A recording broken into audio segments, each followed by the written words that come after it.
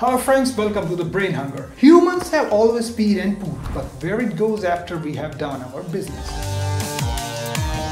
In fact, the water just you drank may well have been a part of someone's urine just weeks ago. A flush toilet disposes of human liquid and solid waste by using water to flush it through a drain pipe to another location for disposal. The sanitary fixture is distinctly different from a urinal, which is designed to handle our liquid waste. Victor Hugo wrote once in Les Miserables that the history of man is reflected in the history of sewers. The sewer is the conscience of the city. Human waste used to be considered as valuable commodity. Urine was used for tanning leather and making potassium nitrate, well, an important component of gunpowder. It is really amazing that standard bathroom from 1915 looked like standard bathroom of today. So how did it get this way and how did we get stuck in such a rut? Does the rotation of the earth affect toilet? Philosophers, scientists and astronomers have been tackling life's most pressing question since the beginning of the times. They have convinced convinced us that the earth is indeed round, that is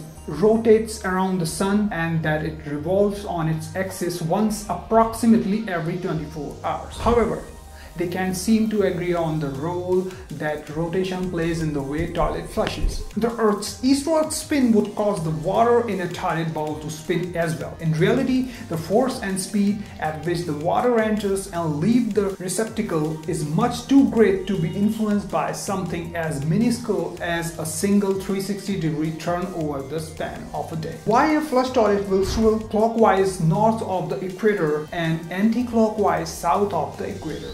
Toilet flushed north or south of the border will swirl the same way. This is because the details of the toilet design, such as from what angle the water comes has a much larger effect on the resulting flow than does the small forces generated from the Earth's motion. The force is the Coriolis force this force is caused by the rotation of the Earth. It is responsible for the weather system swirls. It is also responsible for rivers eroding their right bank more than their left one. In the south, imagine for a moment that someone at the equator fires a gun due north. Let's also imagine that we are looking down the earth from above the North Pole so that the earth looks like a spinning disk. With the equator at the edge from the vantage, the shooter stands at the edge of the disk and fires towards the center. The bullet has angular momentum even before it is fired just by virtue of the fact that it's rotating with the earth definitely.